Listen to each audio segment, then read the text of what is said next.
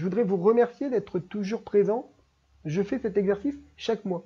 Et je sais que vous êtes également très très très nombreux à le regarder en replay. Parce qu'on me donne les chiffres. Et je suis toujours euh, surpris comme pas possible euh, de l'intérêt que vous portez à votre ville. Le dernier reportage qui est passé sur France Télévisions, où Coup de Kerquebranche était mis à l'honneur dans son combat contre les, les marchands de, de sommeil.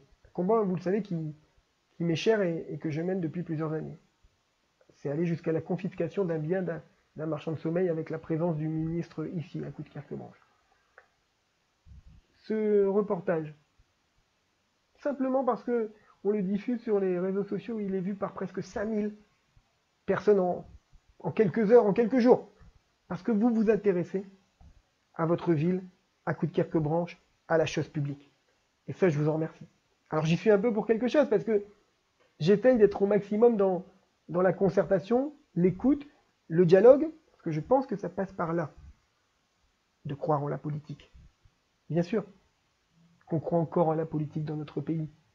C'est pas parce que à l'échelon national, il y a une manière de faire, qui est d'ailleurs vilipendée par nombre de Français, qu'à l'échelon local, on fait la même chose. Et vous le savez bien. Alors, pareil, vous continuez de me suivre chaque mois, vous êtes très nombreux à échanger, à partager avec moi. Ça m'aide beaucoup.